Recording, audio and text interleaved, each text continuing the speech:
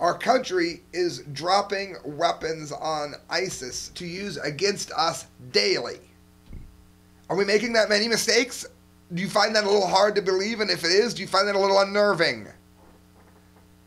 The reason for the drops, according to the legislator, is to prolong the chaotic situation in the Anbar province. In other words, carry the war on and bring more money into the uh, industrial complex. Last week, a video was also released claiming to show a U.S. Chinook helicopter dropping two boxes full of weapons for ISIS by flying at a low altitude in an extremist controlled area of Fallujah. The footage is said to have been filmed by the Iraqi based Hezbollah brigades.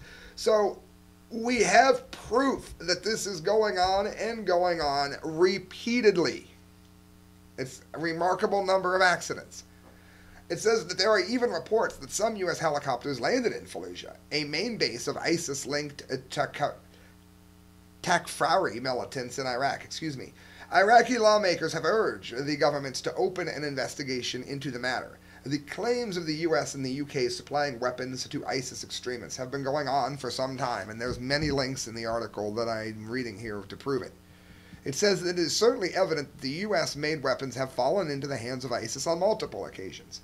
We have discovered weapons made by the U.S., European countries, and Israel from the areas liberated from ISIL's control in, the al Baghdadi region. This says Al Ahad News website quoted the head of the Al Anbar province. So we got all kinds of weapons just dropping into our enemies. It says the U.S. weapons drops for the ISIL on the excuse of not knowing about the whereabouts of the ISIL positions and is trying to distort the reality of the allegations. In other words, they're claiming it's all an accident.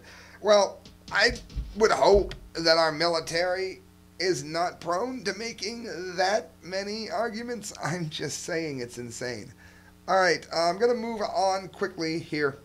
Netanyahu tells Congress Iran on march of conquest, subjugation, and terror. It says Iran is playing a deadly game of thrones. Um, I would say so. I think Netanyahu is 110% right here. Iran is building a nuclear power plant on an earthquake zone. Iran has Sunnis and Shiites both that will take this thing out as a weapon to use against each other. ISIS would love to get their hands on the um, radioactive waste to use. I've got a yellow bar to use as waste uh, dirty bombs against Israel and the U.S. and anywhere else that they can possibly get it into. It says that's exactly what would happen if the deal being negotiated by Iran. That deal would not prevent Iran developing nuclear weapons. It would all but guarantee that Iran gets those weapons, and lots of them.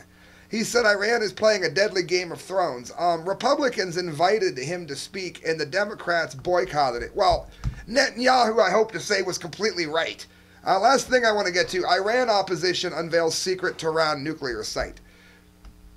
But they're not doing anything they're not supposed to. An exiled Iranian opposition group Tuesday accused Tehran of running a secret uranium enrichment site close to Tehran, which it said violated ongoing talks with global powers on a nuclear deal. In other words, they are working on the nuclear bomb like we've all said they've been doing. Iran is not over there kissing babies. Despite the Iranian regime's claims that all of its enrichment activities are transparent, it has in fact been engaged in research and development uh, with advanced centrifuges and a secret nuclear site called Lavizan 3, said uh, Jafarzadeh, a deputy director of the National Council of Resistance in Iran. In other words, they've got these centrifuges that they are using to enrich uranium to use as a bomb, and then they're appealing to the uh, P5 plus one group of Britain, China, France, Russia, US, and Germany to be allowed to continue this, which is ridiculous. Friends, you're listening to The Correct Views. Sam I.B. DeGangi reporting for the Media Speaks and signing off. Uh, look up the work of Kyle Court, D. Lake, and myself, and please donate if you can at the correct views at hotmail.com, brought to you by Sticker Junkie.